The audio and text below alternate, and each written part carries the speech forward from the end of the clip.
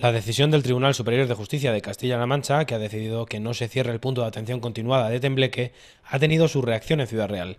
La noticia, que también afecta a otros cinco puntos de atención continuada en la provincia de Ciudad Real, reconoce que la Junta es quien tiene la competencia para reorganizar la prestación de la atención sanitaria en la región.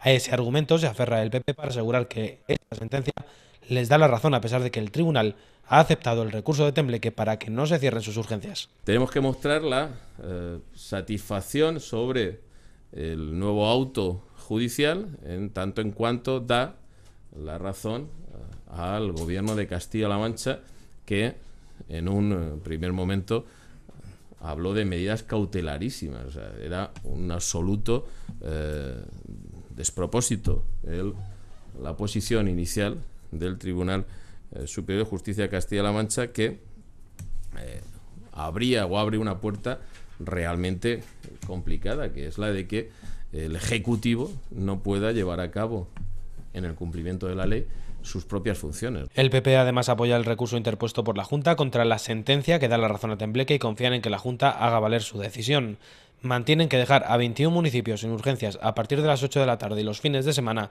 es una decisión puramente técnica, aunque reconoce el derecho de los ayuntamientos a recurrir. Cada ayuntamiento en, el ejercicio de su autonomía, evidentemente, podrá hacer lo que estime oportuno eh, ante cualquier decisión que, toma cualquier otro, otro gobierno en el uso de sus competencias.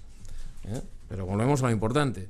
Las competencias en materia de regulación sanitaria son de la Junta Gobierno de Castilla-La Mancha. Es quien tiene que decir cómo ordena y reordena los recursos que tiene para prestar el servicio que, por ley, tiene que prestar a los ciudadanos.